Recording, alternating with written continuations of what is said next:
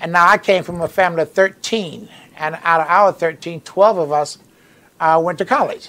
He came from a thriving community that produced a lot of people that really succeeded uh, in mainstream society. Now, why he chose to take the path he did is probably a secret we'll never know. Uh, my classmate, Shirley Caesar, gospel singer. Uh, Ernie Ernie Barnes, the, the artist, my classmate. I think out of 325 people out of my graduating class from Hillside, I think 300 of us went to college. The briefs written for the Supreme Court decision on desegregation, North Carolina College of Durham. We knew we had to be the best.